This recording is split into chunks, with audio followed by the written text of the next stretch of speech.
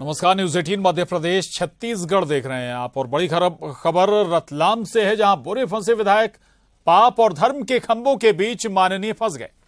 विधायक दिलीप मकवाना का पूरा वीडियो वायरल हो रहा है। ये पुराना वीडियो बताया जा रहा है। गुणावद के भोलेनाथ मंदिर में पाप धर्म के दो खंभे मौजूद हैं और खंभों के बीच से निकलने वाले को पुण्यात्मा माना जाता है और इन्हीं दो खंभों के बीच विधायक जी फंस गए। ये तस्वीरें सामने आई हैं और उसके बाद ये तस्वीरें जमकर वायरल भी हो रही हैं।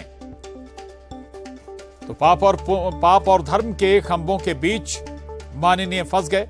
विधायक दिलीप मकवाना का ये पुराना वीडियो बताया जा रहा है जो अब वायरल है। न्यूज़ एटीन संवाददाता रतलाम से सुधीर जैन हमारे साथ जुड़ गए हैं।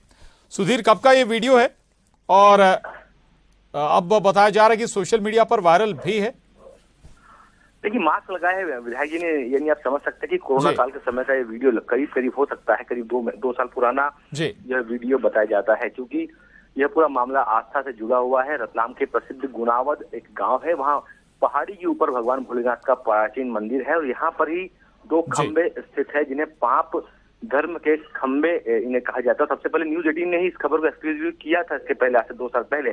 और वही वो खंबे हैं जहाँ पर विधायक जी अपने पुण्य और पाप का टेस्ट करने पहुँचे थे। और अच्छी बात यह है राहत की बात है कि विधायक जी इन दोनों खंभों के बीच से निकलने में कामयाब रहे उन्हें पुण्यात्मा होने का प्रमाण पत्र भी मिल गया।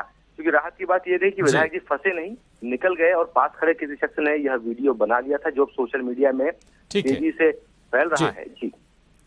बिल्कुल अब सोशल मीडिया में वायरल है ये वीडियो। शुक्रिया आपका सुधीर जानकारी के लिए। आगे बढ़ेंगे